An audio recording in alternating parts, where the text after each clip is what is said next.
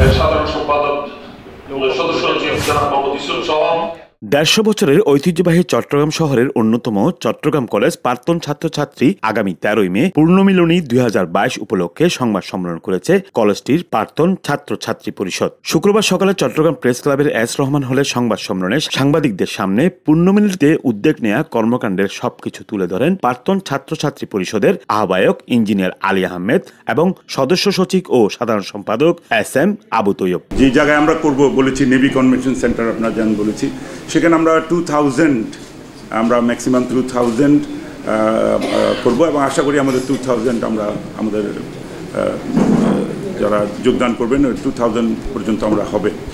আর একটা পাঁচই মে সর্বশেষ রেজিস্ট্রেশনের সময়। আপাতত। পাঁচই মে। এটা এটা নির্ধারিত হয়েছে সুতরাং পাঁচই মে এর মধ্যে আমরা চাইব যে সবাই রেজিস্ট্রেশনটা করে ফেলুন রেজিস্ট্রেশনের ব্যাপারে যেটা হলো সেটা আমরা যারা অনলাইনে করতে চাই খুব সহজ একটা লিঙ্ক রেডি করা হয়েছে। আমি যে কোনো কেউ মোবাইল থেকে ঢুকে কিন্তু এই রেজিস্ট্রেশনটা করতে পারবে এবং ওই লিঙ্কের মাধ্যমে যারা করতে ইচ্ছুক নয়, তারা চট্টগ্রাম কলেজের র্যাড বিল্ডিংয়ে আমাদের যে কার্যালয় আছে, সেই কার্যালয়ে গিয়ে সরাসরি এটা করতে পারে। আমরা পরবর্তীতে সেটা অনলাইনে আপলোড করে জানিয়ে দিব।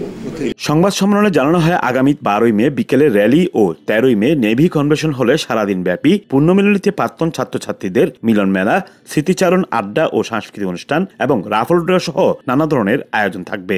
একটা সীমিত পরিসর আমরা যে কোনোভাবে এক ঘণ্টার মধ্যে শেষ করে আমরা নামাজের দিন আজকে এই সংবাদ সম্মেলনে আরও অন্যান্যদের মধ্যে উপস্থিত ছিলেন প্রাক্তন ছাত্রছাত্রী পরিষদের কর্ণাধার জাফর আহমেদ সমন্বয়কারী একরামুল হক যুগ্ম সম্পাদক এস এম শফি ও উদ্যোক্তা কামরুল হাসান হারুন শাহাবুদ্দিন আহমেদ আমির হুমেন মাহমুদ সহ আরও অনেকে।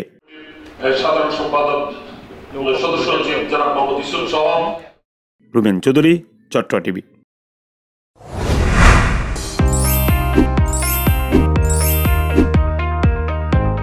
চট্টলা টিভি।